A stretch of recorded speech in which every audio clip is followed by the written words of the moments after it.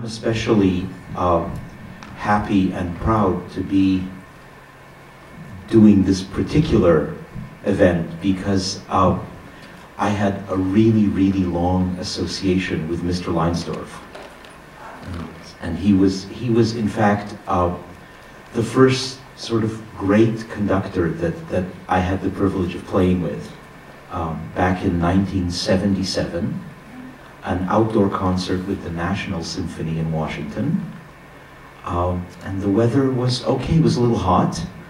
Uh, it was July, and uh, I played the Emperor Concerto of Beethoven.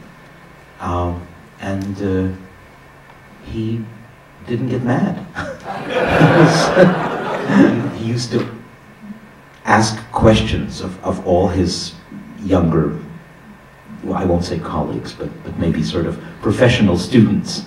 And he asked once, is what is the only orchestral piece of Beethoven in B major? And you search, you search, you search, you search, and of course he tells you, it's all right, it's the second movement of the Emperor Concerto. What is the only piece of Brahms orchestral music in B major? It's the second movement of the second symphony.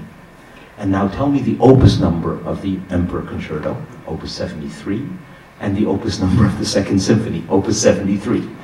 and I don't know if that means anything at all, but he was able to make these connections. It was an incredible mind. He was, well, obviously when you're, when you're 26 or 27 and, and you meet someone who is a great musician that influences you tremendously and uh, a lot of the things I do every day uh, have to do with the things he talked about. Um, little things like I never write in my music because he studied scores very, very carefully. And he always said, if you need to write something in your music, it means you don't really know the score.